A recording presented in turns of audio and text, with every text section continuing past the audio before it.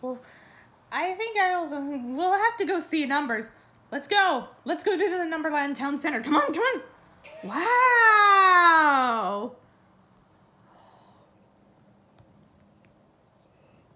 It looks like I did this to our Numberland Town Center. It was awesome. You said it. Uh-huh. Me too. You could do amazing things with someone pulling all the strings and taking you in ways you'd not expected. How hooby groovy wicked gets to be a magic marionette I play with the tiddly peeps all day. I bet you feel rapacious and cry aloud, good gracious, as a hoobly groobly puppet on some hooby groovy strings. You can play a hooby game. I could be a puppet with a tiddly peep name. We could work your strings and show you where to go. On the second thought, actually, no. Maybe we could make a dog a puppet, tiddly peep. And we would make it feel right at Oridon Hooverbeer. Oh, you could do amazing things with someone pulling all the strings and taking you in ways you'd not expected.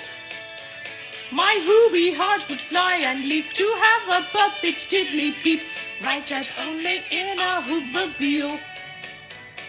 Right at only in a Hoobmobile.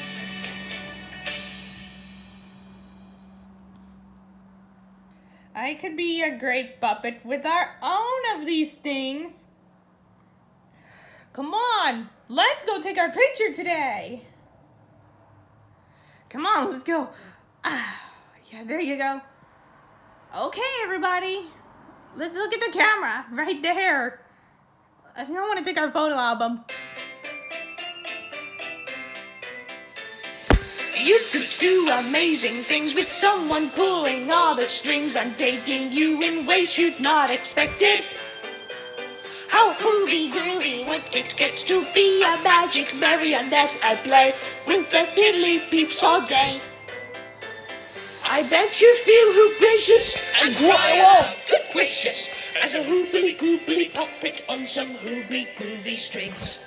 You can play a hooby game. I can be a puppet with a tiddly peep name. We can work your strings and show you where to go.